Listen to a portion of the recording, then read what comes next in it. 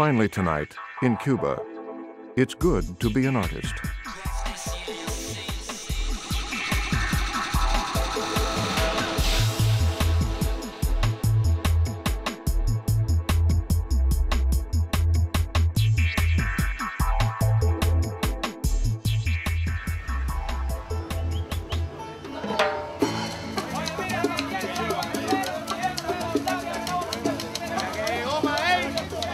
For almost five centuries, the lighthouse on the tip of Havana's coast has served as a symbol of this island nation, a country known for revolution, its time capsuled cars, and of course, its music. But I've come to Cuba to find out about a new revolution, a revolution in Cuban art. Art has always been at the heart of Cuban culture. Under Castro, it became a tool to spread socialist ideals. His government opened free art schools and cultural centers for the masses. But in the 1990s, art became a tool for profit. After the Soviet Union collapsed, Cuba lost Russian subsidies, and Castro turned to tourism and US dollars for economic relief. The Cuban art scene exploded into big business. For the first time, artists started profiting from international sales and emerged into a class of their own. Aquí los abogados no, no viven tan bien como los artistas, tú sabes. Pasa al revés que en muchos lugares del mundo. Marco Castillo is one of Cuba's most recognized artists. He and Dagoberto Rodriguez are in a successful art duo called Los Carpinteros, or the Carpenters, for their handcrafted objects and sculptures. I met Los Carpinteros at their home in Havana. These days, they're leading lives that most Cubans can only dream about. In a country where few citizens can even afford to fix their cars, Dagoberto and Marco have money to spare, and they've been allowed to travel in and out of Cuba to art events around the world.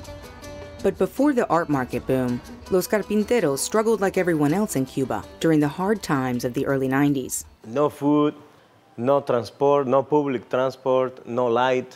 Uh, horrible, terrible situation económico. Art materials were also scarce, so Los Carpinteros helped themselves to houses abandoned by rich Cubans who fled the island when Castro took over. Había mucho material ahí interesante, había mármol, había madera, había todo ese tipo de cosas. Entonces, para nosotros aquello era un paraíso. Entonces, no solamente, eh, tú sabes, asaltábamos casas, también eh, cortábamos. Asaltábamos, está un poco... bueno, ¿cómo tú lo llamarías? Creepy. ¿Cómo tú le llamarías? Uh, eso es un robo de baja intensidad. They also scavenged the woods in their art school's backyard, once the site of the old Havana Country Club. Los Carpinteros used the stolen materials for their first artworks. Like this early piece, where they painted themselves playing golf, using sticks instead of clubs, a subversive comment on the upper class Cuban lifestyle. Los Carpinteros challenged the socialist system using irony and humor, like this hot seat sofa and a jewelry case grenade. The international art world caught their first glimpse of Cuba's new visual artists at the 1994 Havana Biennial, a contemporary art festival that set off a wave of sales. There was this kind of frenzy in, in terms of the buying up of Cuban art. Before you left for Cuba, what you did was you kind of cashed out a bankroll of, of um, you know, several dozen hundred dollar bills, and you just kind of kept that in your pocket and you just sort of peeled off a couple hundreds here and there um, when you entered a, a, the studio of, a, of an artist who you thought was doing really good work. Los Carpinteros were discovered at that show, and their careers quickly skyrocketed. Today, their sculptures and paintings are featured in museums around the world, including MoMA's permanent collection in New York. Any advance at 9,500. It also sells at high-end auctions. 95, 95. You know, their sculptures sell for fifty, sixty thousand dollars. The uniques, um, their big drawings sell for twenty, twenty-five thousand dollars. That's an unbelievable amount by Cuban standards, when you consider the average Cuban doctor makes around $30 a month. One of their boldest pieces, The Fallen Lighthouse, sold to the Tate Gallery in London for $100,000. It's Los Carpinteros' take on the famous Cuban landmark. Surprisingly, the government has let them cash in on art that criticizes Cuba's socialist revolution. No se supone que un faro esté horizontal, que esté tumbado, que esté sufriendo, ¿no? No se supone, eso nunca lo vas a ver. Y tiene que ver mucho con comentarios sociales, por supuesto. Me gustaría que este país fuera un país de derecha y conservador. Me gustaría que este país siguiera siendo un país socialista. Pero a los fanáticos eh, de izquierda, me gustaría decirle que esto no es el paraíso que ellos sueñan. Esto es un país muy difícil y, y, que, y que tiene que cambiar. Speaking out about politics in Cuba can land you in trouble, but when asked what kinds of changes he would propose, Marco didn't flinch. Por ejemplo, una nueva Cámara de Gobierno, para comenzar.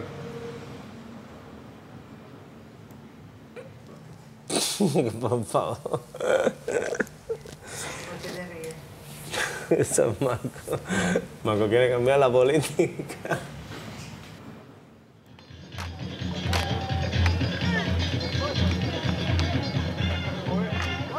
As Cuba has gained prominence in the global art market, the Cuban government has managed to improve its own image. Ironically, it was the United States that was now causing Los Carpinteros problems. In few days, we're going to have an opening, and we don't have the visa yet. We had a show at the Guggenheim. We had a show uh, at the at the show in Tampa, which is a, a, a, solo show, a big solo show of Los Carpinteros in the United States that is traveling now, and we were not able to go. So this is what is happening, but the work is still going on. Under President Bush, many Cuban artists have been kept out of the U.S. Los Carpinteros say the travel restrictions are undermining the cultural ties that they and others have been trying to build with America. It's not working in political terms. It's doing nothing. The only thing it's doing is uh, cutting the the, the interchange, yeah, interchange of ideas, which is very important in this moment for, for this country. For both countries, I for think. both, yeah.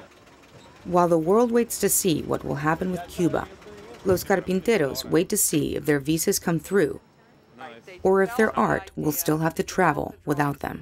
When it was clear they weren't going to get their visas, I said, Well, um, what shall I tell them in Chicago? Is there anything special that I should tell them? Um, they said, No, just tell them that we'll see them after the revolution.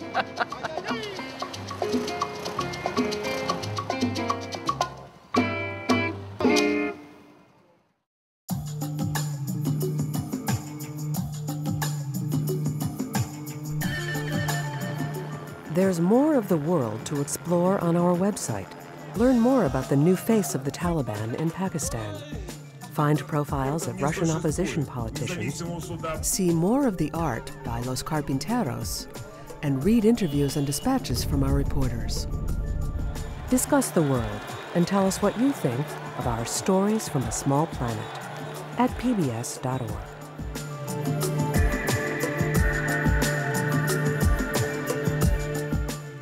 Next time, I got the world on a string. Americans with credit cards, 185 million. Interest and fees paid to the credit card companies, 101 billion. Big banks holding all the cards, priceless. Some things money and power can buy. For everything else you want to know about credit cards, there's Frontline.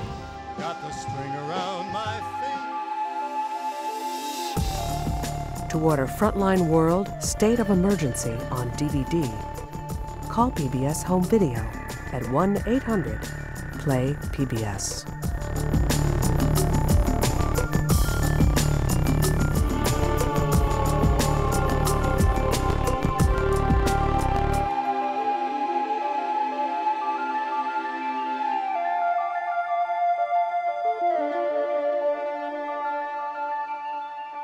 Frontline World is made possible by Shell, supporting freedom of the press. As you can see, people are gathering around. And the independent journalists. How do you respond to these charges?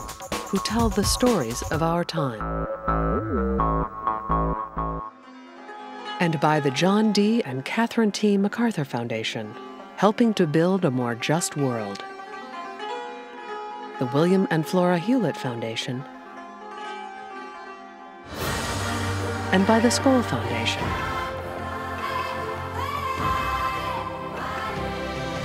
Supporting Frontline World through a grant to the PBS Foundation.